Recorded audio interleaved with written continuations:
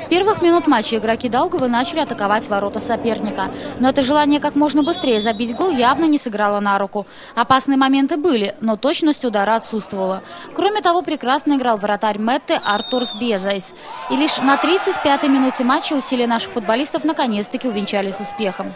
А спустя 7 минут во время пробивания углового защитник Даугавы Хорват Михаил Матья головой направляет мяч в ворота соперника. Второй тайм изменений в счете не принес. Несмотря на множество острых моментов, которые создавали наши футболисты, забить голом так и не удалось. Ворота Мэтта несколько раз спасали Штанга и Артур Безайс. Знали, что соперник хоть и находится на последнем месте, но игры некоторые показывали очень неплохие. Знали, что соперник будет сегодня от обороны играть и боялись этих контратак.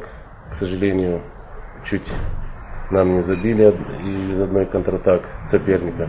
Очень хорошо оборонялись, они садились за линию мяча, очень быстро, тяжело было взломать, но даже при таком количестве игроков в обороне мы создавали довольно-таки большое, много моментов. Просто мяч никак сегодня не шел, много штанг, перекладин, то защитники выбивали мяч. А по второму тайму, по второму тайму у нас, не знаю, что там, или почитали, что мы стоя обыграем команду соперников. И многое мне не понравилось, поэтому мы уже между собой там разберемся. В целом мы игру контролировали полностью с первой до последней минуты. Дисквалификацию на одну игру получил наш лучший форвард Мармука Гангадзе, который умудрился заработать четыре желтых карточки. Также отсутствовали Максим Рафальский, Юрий Мамаев и Сергей Яшин, которые еще не готовы выйти на поле после травм. И если Юрий, скорее всего, сможет принять участие в следующем матче, то остальные появятся не так скоро, как хотелось бы.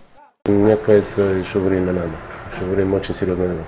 Травмы у них были. Поэтому здесь очень тяжело сказать, когда они могут приступить.